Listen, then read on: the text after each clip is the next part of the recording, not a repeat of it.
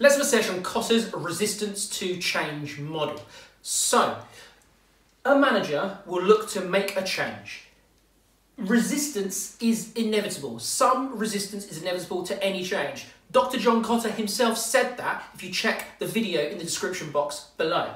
So managers make change, some resistance to change is inevitable. And there are four types or four categories of resistance that exist that we'll get to in a minute.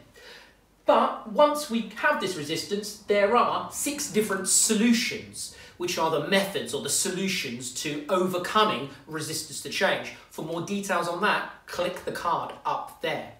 Now, what are the four types of resistance that are likely to exist when managers make change?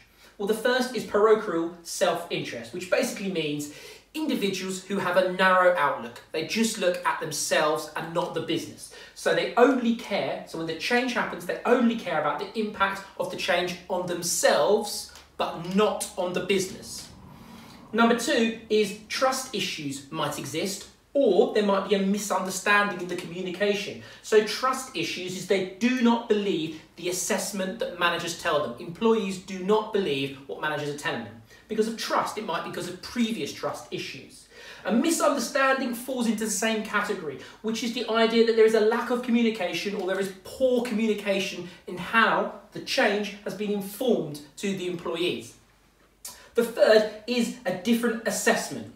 And the fact that the stakeholders do not necessarily agree with what the manager's assessment of the situation is and what they're recommending for change. You can definitely loop in stakeholder analysis here. Do not be confused with one and three, they are different. This is about you caring about only yourself and not the business. This one is the fact that you see it a different way. You don't see it the same way as the managers see it based on the evidence. Number four is low tolerance for change.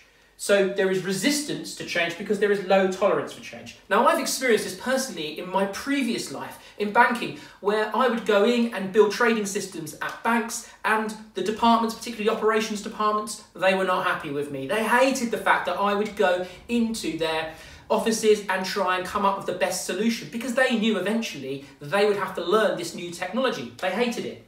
So workers fear they do not have the skills to cope with the change and the fact that they're unwilling to train themselves up or they don't even believe that if they have to reskill that they will be able to reskill themselves.